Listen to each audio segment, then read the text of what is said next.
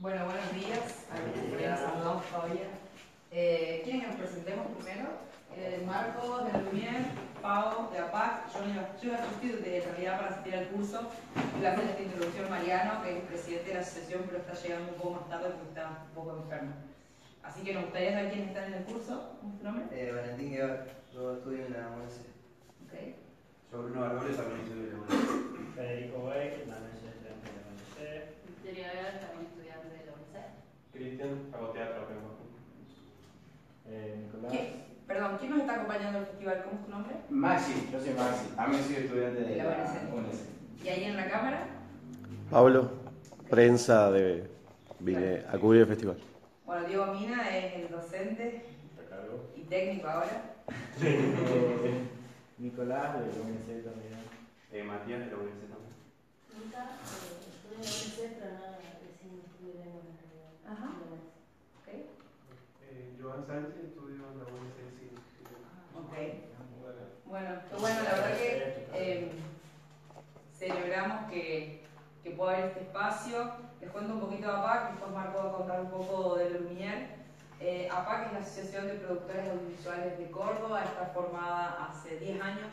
Este año la asociación cumple 10 años y bueno, un poco hay una serie de eventos en el marco de, de estos 10 años y eh, APAC trabaja sobre cuatro ejes fundamentales, antes eran tres y desde el año, hace dos años estamos agregando un cuarto, que es trabajar activamente en las políticas públicas de fomento.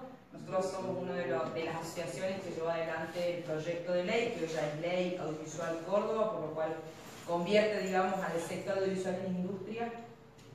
Quizás eso eh, hoy más en una, eh, cuando estás cuando sos estudiante y demás, mucho no se ve, pero yo creo que va a ser muy beneficioso, digamos de hecho que es muy beneficioso porque nos pone a- como sector a un nivel donde recibimos muchos beneficios y eso nos permite concretamente poder producir más y poder, poder escribir. Digamos creo que la falta de mercado audiovisual, una de las áreas que más afecta sin lugar a dudas es la escritura porque es a lo que menos recursos se puede dedicar y a lo que más tiempo hay que dedicarle, ¿no? Nosotros como productores vemos que si uno trabaja en el guion, no digo más que en otras etapas, pero sí igual que en otras etapas, y si se puede más también, es muy difícil que un producto, una producción, eh, no sea de calidad, digamos, ¿no? Entonces, eh, celebramos de nuevo, digamos, este espacio. Otra de las, eh, de las áreas donde trabaja la asociación es eh, en todo lo que tenga que ver con capacitación y profesionalización del sector. En ese marco, hace más de dos años, tenemos una alianza con la Escuela de Cine La Lumière eh, para complementar un poco todo lo que la universidad u otras carreras audiovisuales y de comunicación aportan al sector audiovisual eh, y trabajamos específicamente bueno, con, la, con la Lumière, por ejemplo, en este espacio pero también, digamos, en otros cursos donde tenemos un acuerdo para que los socios de APAC tengan un descuento antes del 10% y ahora del 15% en todo lo que son esos, esos cursos. Y también este año la asociación va a trabajar en eh, más programas, digamos, de formación, que para todo lo que sean socios va a ser también sin costo. Eh, eso se va a ir anunciando, nosotros tenemos un Facebook y, en el, y una página y a través de eso, eh, quieren, pongan me gusta o lo que sea para ir recibiendo como todas esas notificaciones. Eh, y otra de las líneas donde trabajamos bueno, es la distribución, que es la última etapa de una producción audiovisual.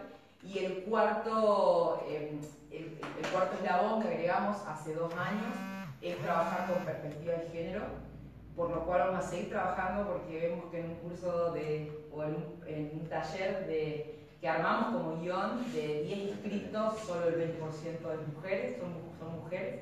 Así que creemos que hay que trabajar mucho más fuerte en la perspectiva de género y diversidad, digamos, para que todo sea un poco más equitativo. Así que también estamos trabajando hace dos años con, con esa perspectiva. La asociación tiene, eh, si bien es una asociación de productores, tiene, digamos, como dos líneas de socios, que son los socios activos y los socios adherentes. Eh, el docente a cargo, Diego Mina, está dentro de los socios adherentes. Quizás él no se dedica a la producción concretamente, yo creo igual que todos cuando escriben hacen un poco de producción también, porque van diseñando eso que después vamos a ver en la pantalla. Eh, y eh, él está encargado, digamos, del grupo de los periodistas. Y entonces básicamente lo que hace la asociación es darle un marco, un contexto para promover mejores condiciones eh, para, de, de trabajo, de formación, de distribución desde el lado de- del guion. Entonces un poco la idea es, lógicamente, invitarlos a que se, su- se sumen a la asociación. La asociación la construimos entre todos, más allá de que hoy esté una, que, que lo esté conduciendo un grupo de personas. Eh, la idea siempre es trabajar mucho, mucho con toda la parte de, los estudiantes y las estudiantas, justamente porque creemos que son los que van viendo qué es necesario mejorar también, digo, no solamente la parte profesional que ya está trabajando. Y aparte porque también a nosotros nos interesa desde la asociación promover lo que nosotros decimos como el semillero de la producción audiovisual para que empiece a insertarse también en el campo profesional y que creemos que todo eso alimente y le da mucha frescura al sector y a una producción audiovisual cordobesa que es conocida, digamos, a nivel internacional, a nivel nacional, justamente por todo esto que estamos. Así que estamos muy contentos de poder hacer este taller eh, en el marco del FISIC, que creemos que es un espacio que hay que sostener constantemente y se sostiene con el apoyo y con la participación. Así que ustedes estén acá para nosotros es como vale muchísimo porque sostiene estos espacios de formación y porque decimos sí es necesario hacerlo. Eh, así que bueno, muchas gracias al FISIC por el espacio, a Diego por sumarse a esta capacitación y dar y su tiempo. Bueno, también a Marcos y la Lumière porque cada vez que APAC propone o ellos proponen, eh, encontramos espacios de sinergia y de trabajo en conjunto. Así que muchas gracias y ojalá haya muchos más de estos talleres y por muchos más años de FISIC. Gracias, le- todo lo que dijo la Pau fue como un resumen muy importante. Eh, yo como director general de- del Instituto La Lumière, que seguramente por ahí lo conocen, eh, nosotros somos personas que venimos remando hace mucho, igual que por este lado, con respecto a lo que es el cine en Córdoba.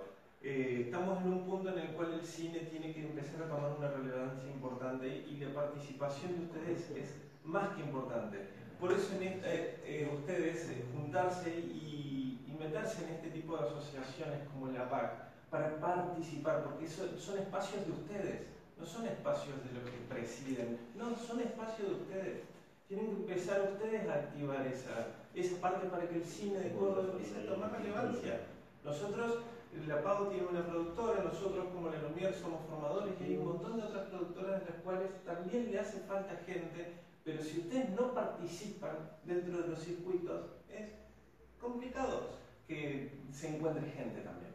¿sí? Entonces, ya que están todos formándose, pónganse así a- al hombro el cine de Córdoba para poder eh, emprender mejor Córdoba y tener un polo audiovisual.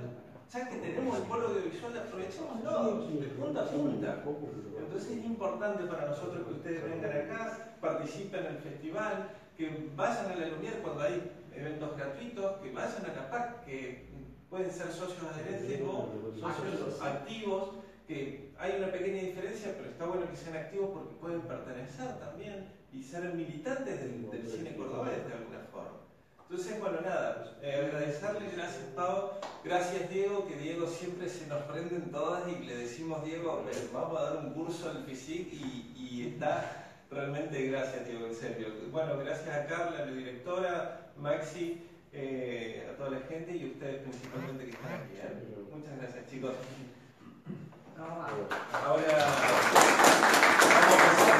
vamos a un pendrive, me falta un pendrive. ¿Por qué no entra en el mío? No me lo deja copiar. Estaba como bloqueado el.